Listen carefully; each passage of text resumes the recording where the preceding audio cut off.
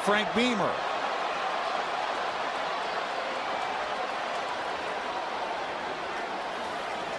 On third and four. It's hard not to see that hole open up. But a great recovery. He ends up being a yard short. They're going for it. And this is really more like fourth and a short two.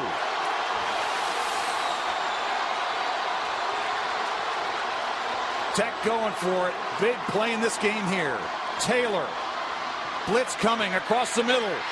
Incomplete.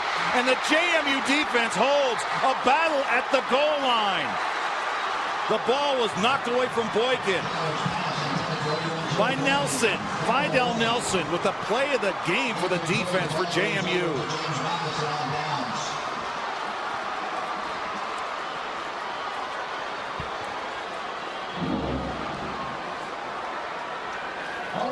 We'll take a timeout.